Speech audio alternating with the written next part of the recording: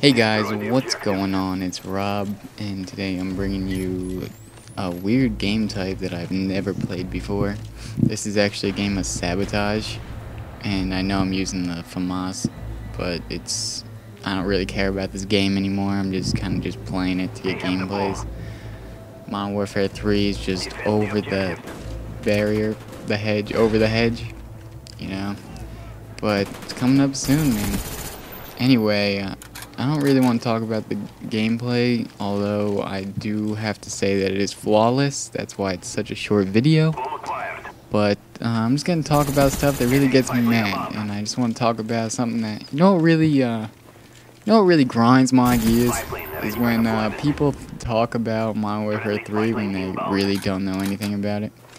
Like, alright, there's this one guy that I'm like subscribed to on YouTube, and he uploaded the multiplayer like trailer thing.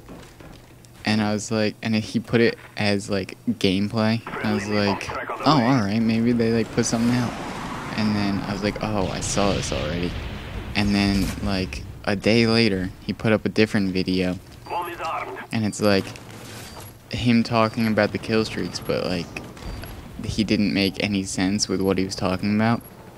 So it's like alright so next day he put up a video. It was like two minutes long. He's like gold guns in Modern Warfare 3, and it was just the slow mode part of the trailer of the H or the AA-12, not the HS-10, the AA-12 being shot. And he slowed it down and he just like talked about it, and I was like, oh my god.